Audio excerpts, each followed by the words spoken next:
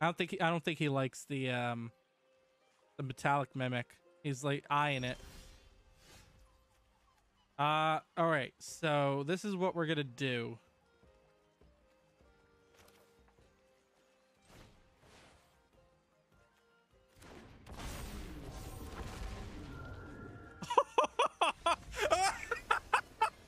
that was fucking awesome.